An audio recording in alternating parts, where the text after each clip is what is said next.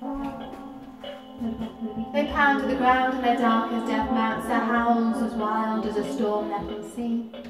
And the air was bare of all soft and all kind and all comforting sounds. Not a breath, not a beat, not a prayer, not a whistle against a hoof coming grind, and bit crack on the bristle. Was down they went, down they went, and I of my steed, full hardy and young and half crazed and naive, waited and waited to join their stampede.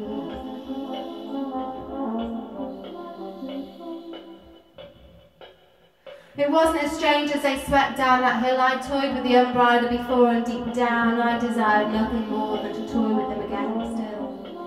I envied their freedom, free rein to their rage. It was the unbridled starkness of their wild galloping passion, I pray.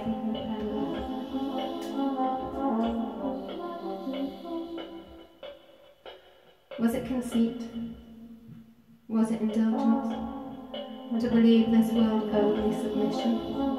An eye for an eye and a blaze for blaze, the arrogant demand for Jews to be Jews to be paid and debts to be given.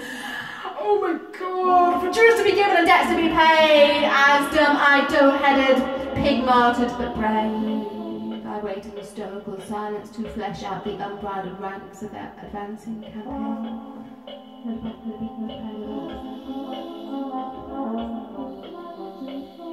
Perhaps I thought I was immortal, perhaps I thought that I deserved more.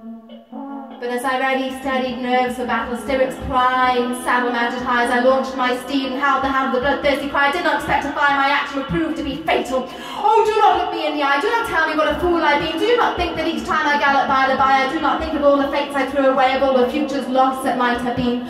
But who would not indulge the urge of chance forgiven, to shrug off the heaving weight that is a saddle-laden, bright old constraint of time and space that seeks to pull us down and mar our dreams combined with taint of crowds, who would prefer to see us dressed in rags than steeped in sequined robes that mark us out of those that chose to clothe ourselves in unbridled freedom, who here I ask,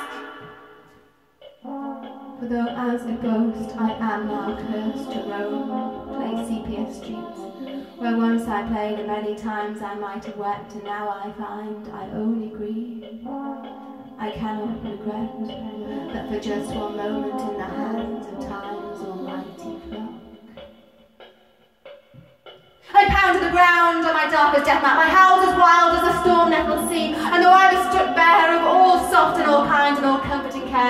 I paid the price, and oh yes, I should have thought twice, I've confession to share, a secret.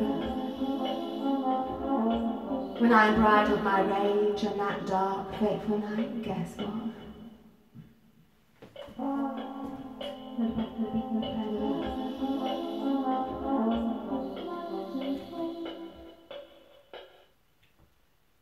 I loved it.